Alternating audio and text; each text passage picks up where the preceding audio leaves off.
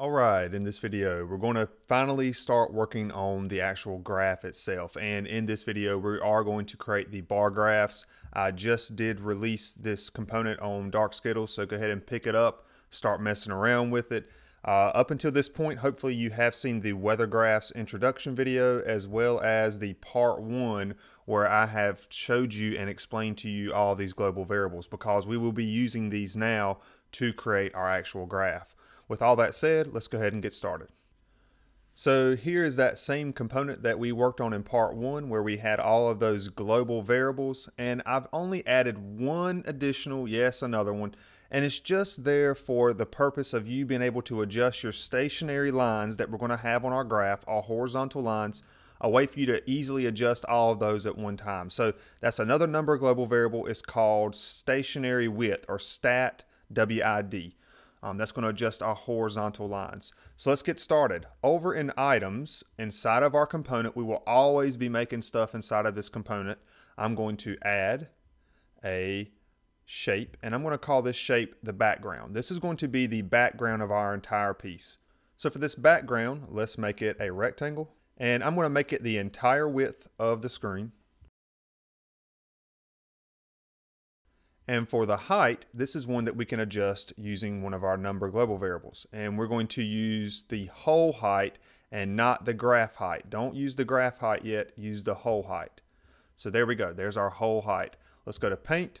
Let's change its color to the BG color that we've created. All right, so there's our whole piece. Now we're gonna have the graph sitting inside of this and we're still gonna have some room around the edges to put other weather information. So back inside of this component, let's add an overlap group. We're going to work on our stationary lines. And to keep this organized, we are going to be using some overlap groups to keep everything uh, in its little piece and organized. So inside of the stationary lines overlap group, let's go ahead and add a rectangle. Now that we have two number global variables for our stationary lines, um, I'm going to add that one over here. Remember we did add one called stat width. So that's going to be the width of our stationary line. So now we have a long stationary line and then we have the stationary thickness number global variable. So that made it very thin. I'm just going to go back and adjust this number global variable just for the sake of this video so that we can see it a little bit clearer on the screen. But before we do that, let's go ahead and adjust the paint of this and that is going to be our if we look at our colors over here, we have a couple of them. Um, the max color and min color we don't want to use. The graph. I could have called this stat for stationary, but this is the one I'm going to be using for the color of my stationary lines. So selecting graph. All right, and like I said, I'm gonna go back and I'm just gonna bump up the thickness of this stationary line so that we can see it a little bit better in this video. All right, so it looks like the color changed on us a little bit when I was doing that. If I go up here and I look at my graph color, my graph color, that's the stationary line color, it is a little bit darker. So that's what I'm going to be using for the sake of this video so you can see all this stuff. So back inside of the stationary lines overlap group, let's copy and paste this. Therefore, we're maintaining all of those number global variables that we applied and the color, but now we're going to bump this rectangle up to not the very top of the whole piece, but we're going to bump it up based off of graph height. So I'm going to go to this rectangle, I'm going to go to its position, and since I want this to be my top stationary line, we want to apply some bottom padding. And as you can see there, as I do that, it is moving this line up. Well, how high do we want to move this up? I'm going to use a number global variable and I'm going to use the graph height. This is where we want to use that.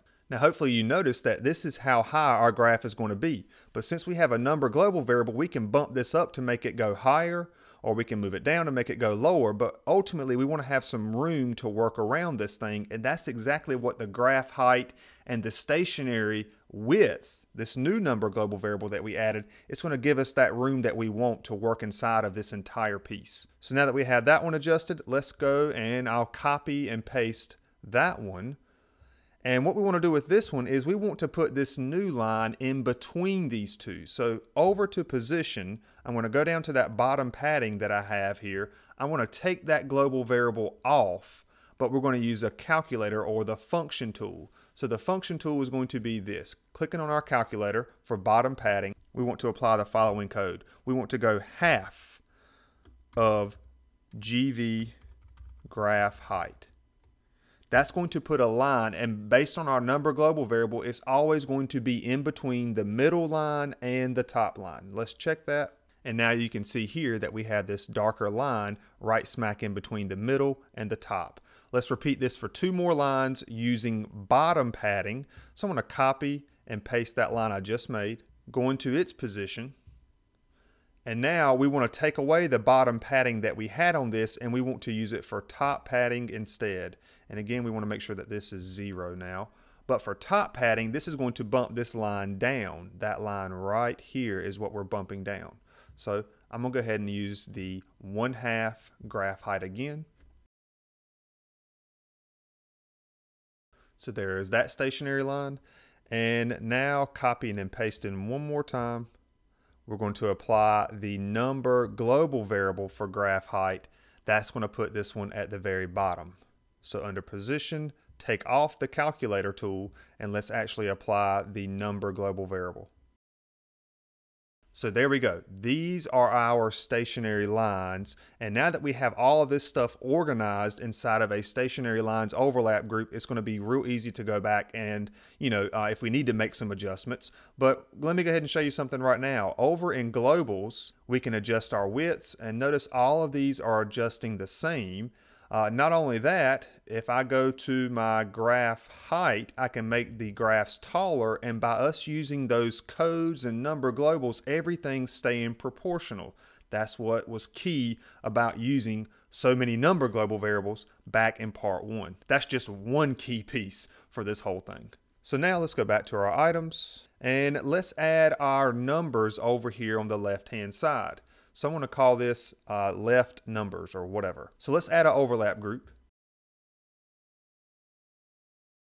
All right, so inside of this overlap group, we're going to put three numbers, or at least that's what I'm going to do here. I'm going to put my three-day max up here. That was this uh, text global. My three-day min here, and I'm also going to put the mid temp uh, right here in the middle. And we're going to use, again, some positions with our codes and our globals, number globals, to get all this to stay the same no matter how we adjust it. So inside of that left numbers overlap group, I'm going to add a text item. Now I do not have anything set for a font or text size. So you may want to go back, assuming you're familiar with uh, font globals and other number globals, we could easily add those as well. But I think we have plenty of globals as it is right now. So for this text item, I'm going to come to this one and I'm just going to use the mid temp first of all.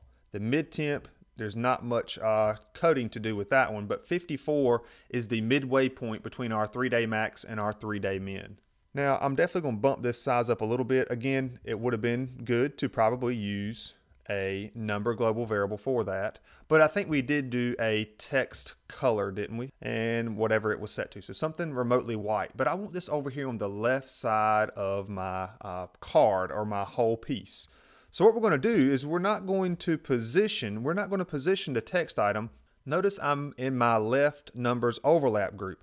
I want to position the entire overlap group center left. So that's going to put that 54 right over here. That's our mid temp and it's right on our mid line because by default, you know, everything's centered when we position stuff. I just did center left to push it over to the left. Maybe we want a little bit of uh, left padding to bump it out a little bit, maybe not that much. Again, it depends on how wide you have your stationary lines as well, right? So something around there is what I want to do for this part. So back inside of the left numbers overlap group, I'm going to copy and paste. And now I have another mid temp. But now for this one, I want to do three day max. So our three day max is 73. Well, we want that 73 to show up up here. So under position, I'm going to go to bottom padding and I'm going to apply the number global variable graph height. So that's going to put the 73 right along that stationary, that top stationary line.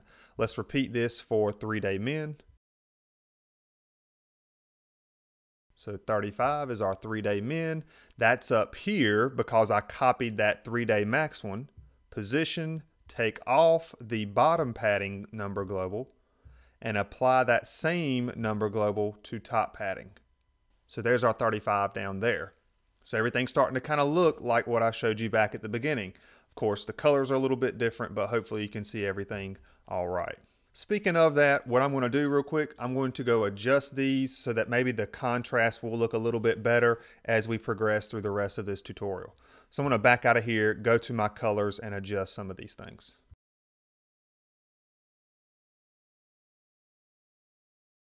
So maybe that helped a little bit. Uh, we got the yellow on the black. Um, I did adjust my max and min colors as well, so we can just get a little bit more of that contrast. Hopefully you can see this a little bit better. Now let's go ahead and work on our dates at the bottom that show our max and min temps. So back inside of our component, let's add yet another overlap group and let's call this one dates. Inside of dates, we are going to add a text item. And for this one, I'm going to go ahead and do uh, the date for one day away. This is going to be the one that's going to be on the left side of our graph.